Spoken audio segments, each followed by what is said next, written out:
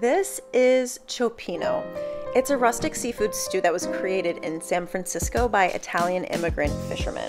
Now, I'm from the East Coast, but I was raised in a family of Italian immigrant fishermen, so this dish just kind of feels natural to me. Now, there's lots of different riffs on the concept, and this is mine. I saute thinly sliced onions and fennel in olive oil until they're soft, and then add lots of garlic, chili flakes, some fresh herbs, and then stir in some tomato paste and season with plenty of salt and pepper. Then for the liquid, I add in a little white wine, some bottled clam juice to add that salty seafood flavor, and then a can of whole peeled tomatoes that I break up with the back of my spoon. Now, what I love about cioppino is that you can add pretty much any type of seafood that you want. You just have to make sure you add them in the correct order depending on how long they take to cook. Mussels and clams go in first, and then shrimp and crab, and the fish very last. Now, I know I didn't season my fish here, but you definitely should season yours.